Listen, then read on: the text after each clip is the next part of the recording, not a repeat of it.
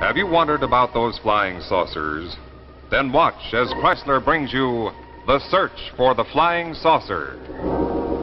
Starring Jack Carter.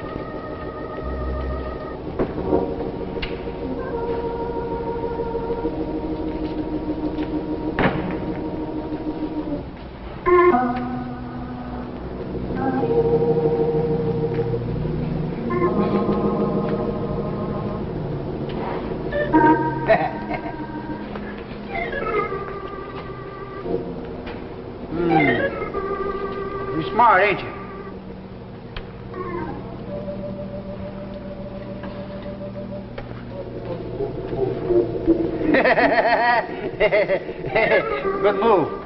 Got myself cornered. Yeah. Say, who do I see about a room? We ain't particular about strangers. What's your business? That might be my business. Suit yourself. Say, I don't want to make a pest of myself, but who do I see about a room? Might you be a newspaper man? I might. Come to find out about the flying saucers? Look, right now I'd like to find out about a room. Look, Mr. Uh, Crazy John. Just call me Crazy John. It's all right. Can't hurt my feelings. Nobody can no more. They done all they can to me. they? Now you're asking questions. uh, I'm going to have to check up on you. Well, don't you think I won't either. Hey, wait a minute. What about the room? What do I... Oh, I'm sorry. I, I was taking a sunbath. Well, don't apologize. I'm not apologizing. Say, I just got in town. I can't seem to find a place, and I can't get any dope out of the old character. Could you tell me where I could find a room? You've come to the right place. Matter of fact, the only place in town. I'm Ginny Walker. Vic Russo. Hi. Won't you sign our guest register, Mr. Sure. Russo? How long do you plan to be with us? Oh, I really don't know. Twenty-five dollars a week, including meals. Incidentally, I'm a terrible cook. Say, don't tell me you're Mother Walker. no, I'm a daughter. Oh. We bought this place about two years ago, and then Mother couldn't stand it, so back she went to Chicago. What brings you to our fair city? Oh, a visit is that unusual? Well, it is a little bit out of the way. Are you a newspaper man? Good guess. I don't know.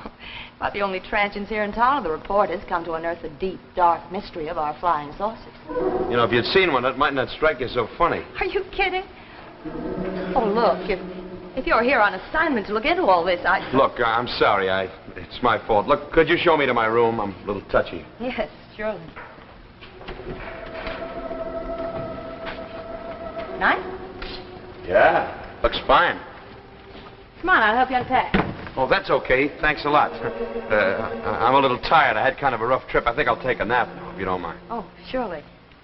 Uh, if you want anything, I mean, the bathroom's upstairs in the garage. Thanks. Thanks a lot. That's swell.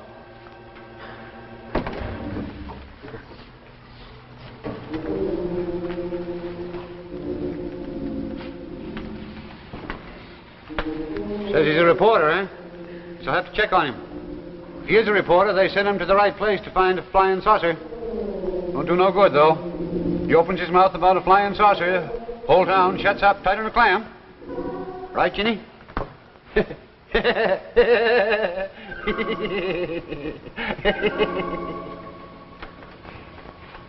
long you say you've been in town? I've been in town a couple hours. What paper you from? I'm with the Daily Globe in New York. Say, we're interested in reports of flying saucers spotted around this area. Sorry, never saw any. Well, do you know anybody who has? Nobody? Sorry.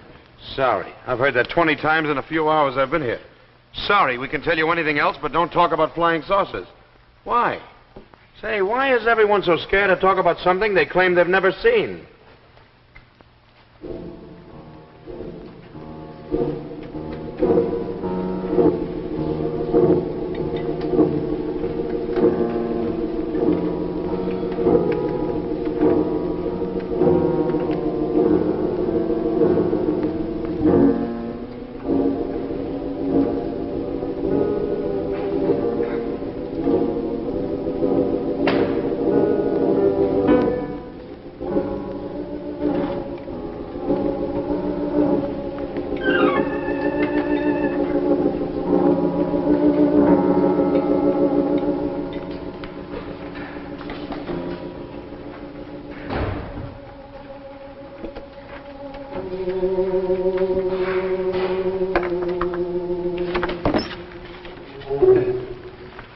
Thought I'd help you unpack.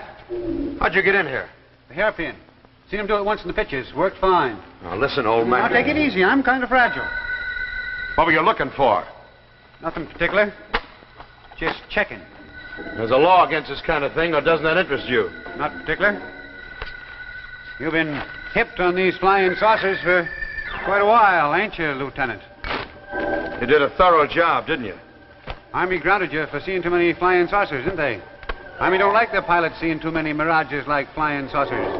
Next thing you know, you might bump into one of them saucers that ain't there and smash up a shiny new airplane. Keep talking. About through. Don't get mad, son. Had to check on you. Had to find out if you was on my side.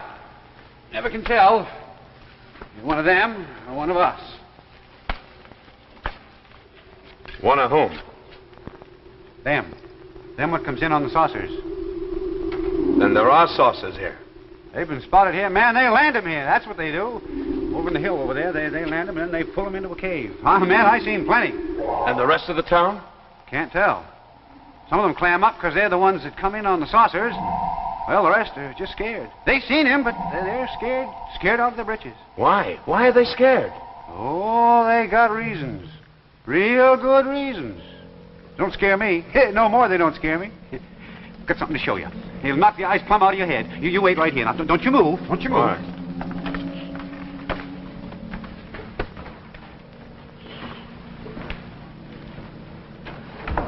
Oh, hi. Hi. Didn't see you come in. How'd you make out? Oh, big fat zero. Mention the saucers, and this whole town runs a zipper right through their lips. They're sick of it, Vic. The publicity, it makes us all out to be fools. Oh, that's too pat. They're not tired or resentful. They're just frightened. They're frightened of something they claim they've never seen. Clay, they haven't seen any flying saucers. Oh, but they have. I know they have. Vic, why are you so excited about this? I'm a newspaper man. Just a good story, that's all. Seems to me this is more than just a good story to you. Prove that flying saucers exist. Why? Because I know they exist. Okay. Wait a minute, Ginny. Look, just trust me. Will you believe in me? You're right. It, it is more than just a story. Has to be. You're not a newspaper man. Hey, don't tell me you've been through my suitcase, too. Well, you haven't got a typewriter. I took a stab at that, and little I know about you.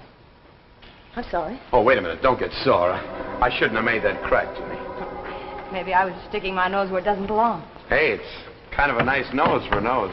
Hey, you said you was going to stay right there, not move, and you did. You moved. Can't trust nobody about nothing no more. Look, look, look what I brung you.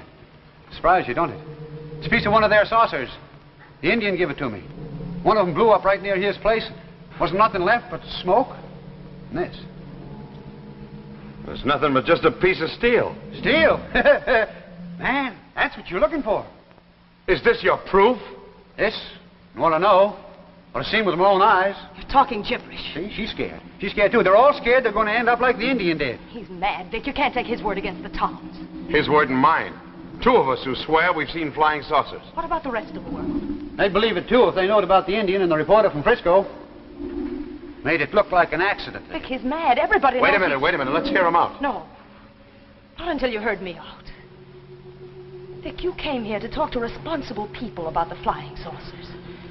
All right, I buy that. It's a worthy aim. But know something. Every flying saucer story that's come out of Las Palmas has come from one source. One source only. Hey, is that right? Right? Sure. Sure it's right. I had to. Everybody else was scared. Guess I'm just about the town's only reporter. Only reporter. Wait a minute. I didn't tell you about the Indian and the reporter from Frisco. You leave him alone. Why? Getting sweet on him? Afraid he's going to get hurt? You leave him alone or get out of my house.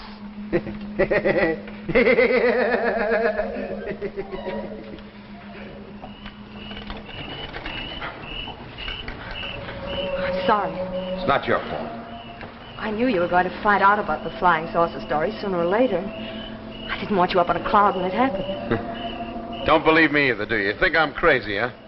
Crazy Vic and Crazy John, the flying saucer boys. Please, Vic, stop it. Now, wait a minute, Jenny. Listen to me.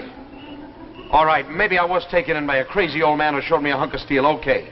But, Ginny, I know what I saw, and I saw a flying saucer. Not just something way over yonder behind a hill. Not just a streak of light in a dark sky. Not just a creation of a sick mind that was molded into the shape of a saucer. I saw Ginny. It was close enough to reach out and touch. There it was at my wingtip, then back at my tail, up and down all around the plane. Ginny, this thing was trying to fight me. It was it was trying to destroy me. I can't be wrong about that. Nobody can tell me I'm wrong. All right, Vic. If you say it, I believe it. I believe you, darling.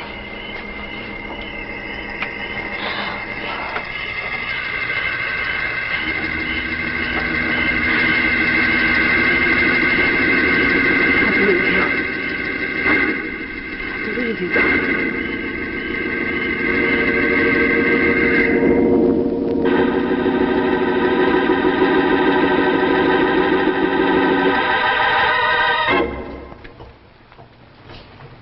And now, before we go on with our drama, let's take a look at uh, another kind of drama from the world of yesterday, the days of dueling, and the famous Count of Monte Cristo. Yes, men lived daringly, dramatically in Monte Cristo's time. So now Kreisler takes designs from Monte Cristo's times to bring you dramatic new ideas and watch bands. Here in Kreisler's unique pistol box, you see one of the fabulous Monte Cristo watch bands for men. This rich looking jeweled crest is just one of the new styles in Kreisler's Monte Cristo bands. Yes, it brings a costly jewelry look to your watch. And imagine what this brilliant band will do, not only for your watch, but for your appearance. This magnificent jeweled crest is typical of Kreisler craftsmanship. Here is another Monte Cristo design, using a royal crown. Best of all, Kreisler's Monte Cristo watch bands cost no more than many ordinary bands, only $12.95, tax included. And all Kreisler bands have super calibrated seven coil springs for extra expansion, extra flexibility. So buy the Kreisler Monte Cristo at your jeweler. Make your watch look better than new with Kreisler. And now for the last act of the search for the flying saucer, starring Jack Carter.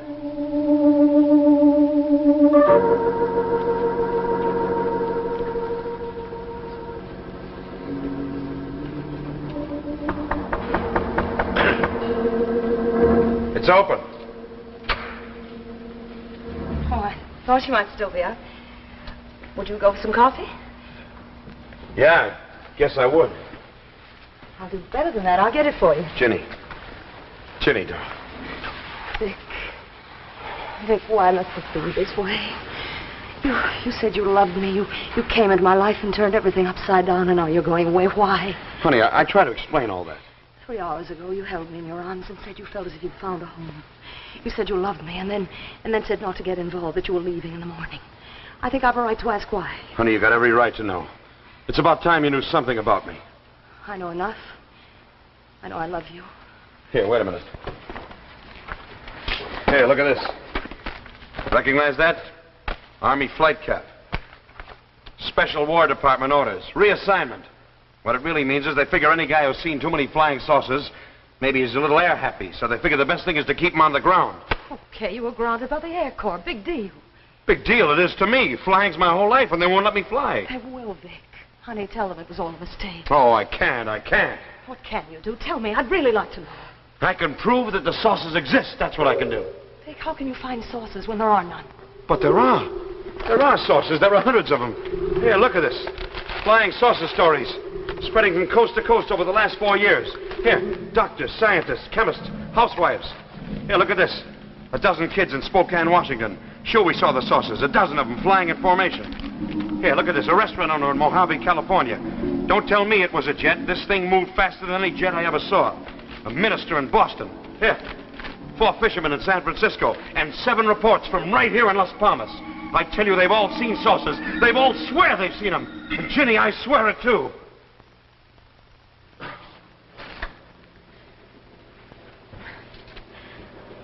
Mentioned something about coffee. I didn't want to change your mind.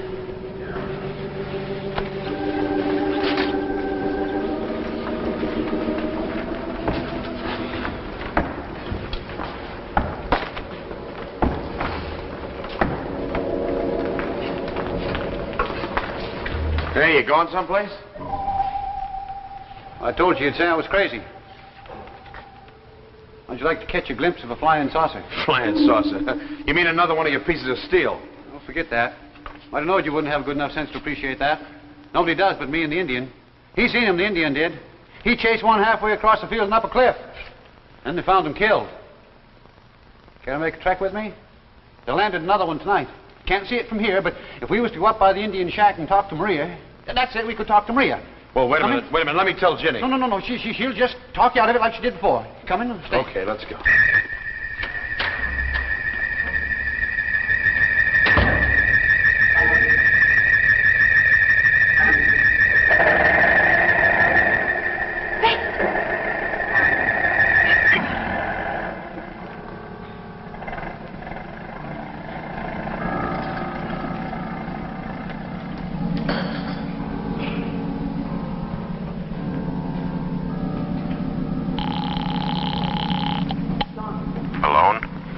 The old man.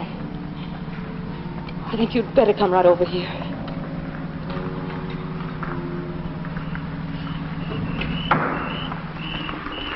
Man, you getting tired? This here's Jack. Maria's mighty deep. She's nigh on 80 years old. See that hill over there? Hill? That's where they lie, land the saucers and pull them back into a cave. No, no, can't see nothing. Must have pulled it back into the cave already. Maria, you got company?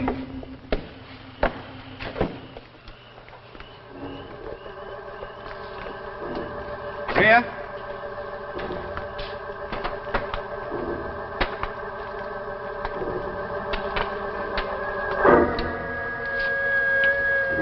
Maria.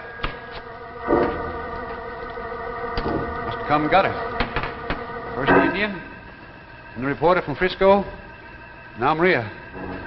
All of us who've seen the saucers, they come get us, one by one. Oh, now listen, old man. This is twice in one night you threw a sucker pitch and I went fighting for it. Now what's the idea of dragging me up here? There's nobody lived here. There's nobody lived in this shack for years.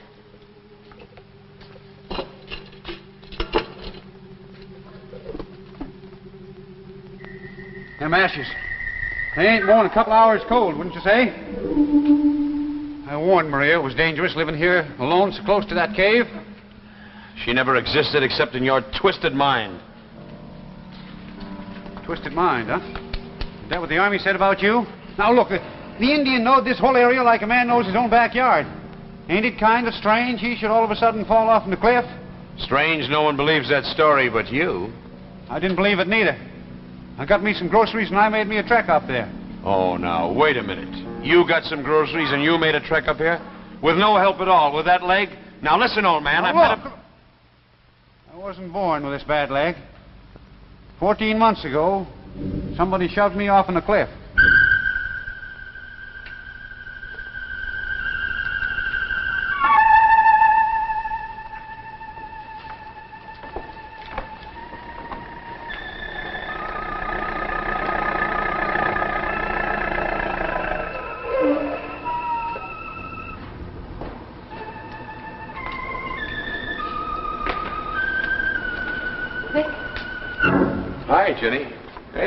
a.m. Why aren't you asleep?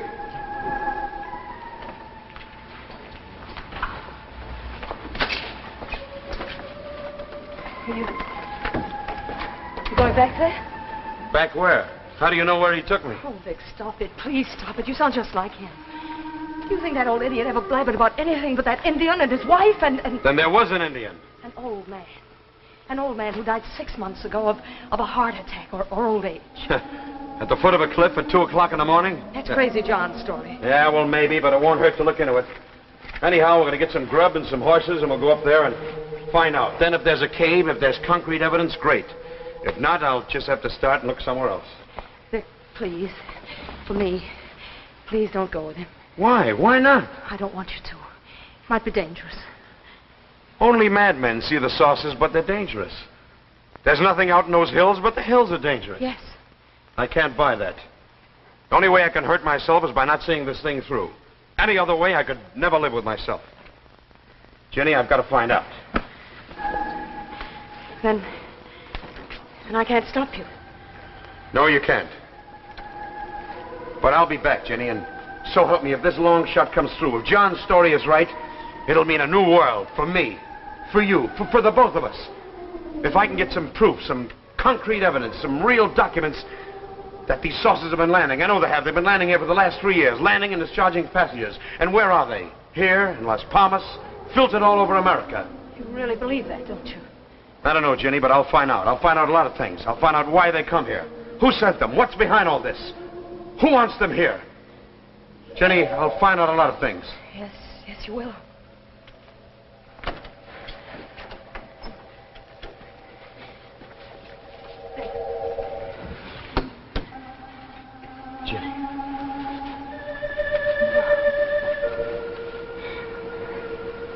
You know something? I could really fall in love with a girl like you.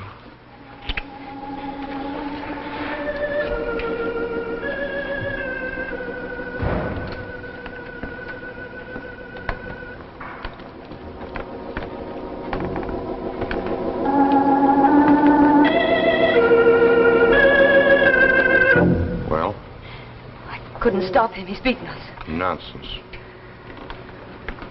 Be a simple matter to dispose of them. What about the others?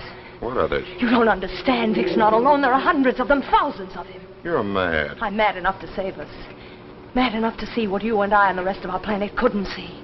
We underestimated them. Their world is full of Vic Rousseaus. Full of fools who, who chase dreams over dark mountains and discover the truth. Kill one and another takes his place. We didn't understand them. We didn't realize their strength and their courage. You're trying to save them. I'm trying to save us. We thought he was a blithering idiot, but we're wrong. He knows. He knows the truth. He knows nothing. You're wrong. That piece of metal the old man gave him. You said he'd thrown it away. He sent it to his commanding officer with a report.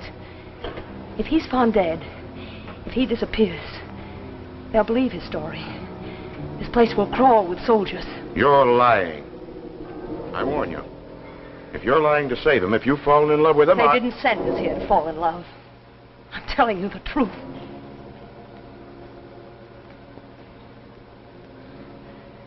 Get ready to leave. We're pulling out. Must. Must I go with you? Need you ask? We're leaving in half an hour.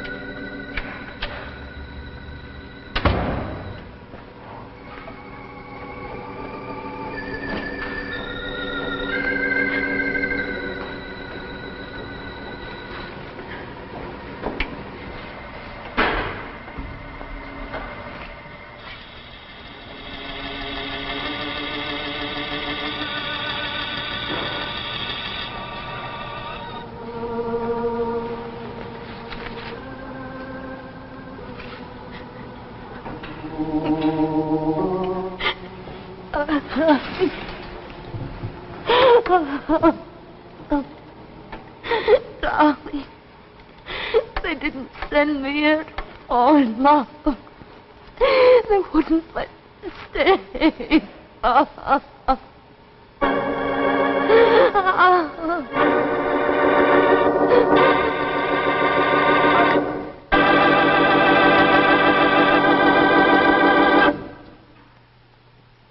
So ends our tale of tomorrow.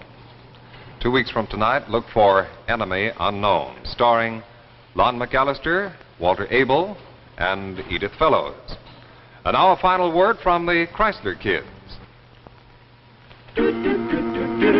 Jack Kreisler. Jack Kreisler, On my hand. on your hand, Crowned with royal crest to make it look grand. so grand, it's Kreisler. It's Kreisler. For me too, For you too. makes your watch look better than new. Quality, style, and value too. It's the man on hand. It's It's Kreisler. Makes your watch look at its best. The glamour of a royal crest. It's Kreisler.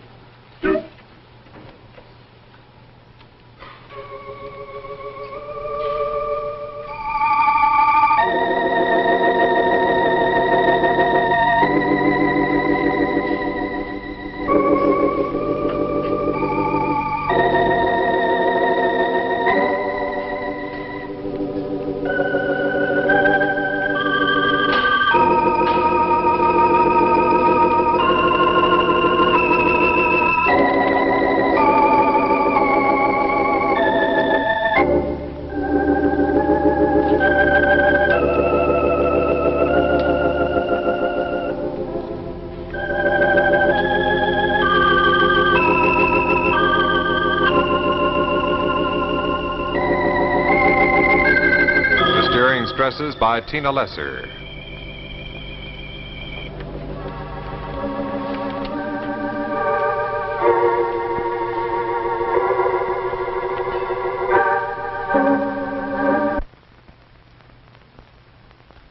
Men, make your watch look better than new with Kreisler's handsome Monte Cristo expansion watch band with a richly enameled crest.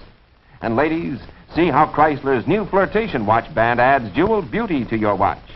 Remember, look for Jacques Kreisler at your jeweler. It's the name that means quality in watch bands. Join us two weeks from tonight when Kreisler brings you Lon McCallister and Walter Abel in Enemy Unknown, a new adventure in Tales of Tomorrow. The preceding program, originally telecast by ABC in New York, has come to you by special video recording. This is ABC, the American Broadcasting Company.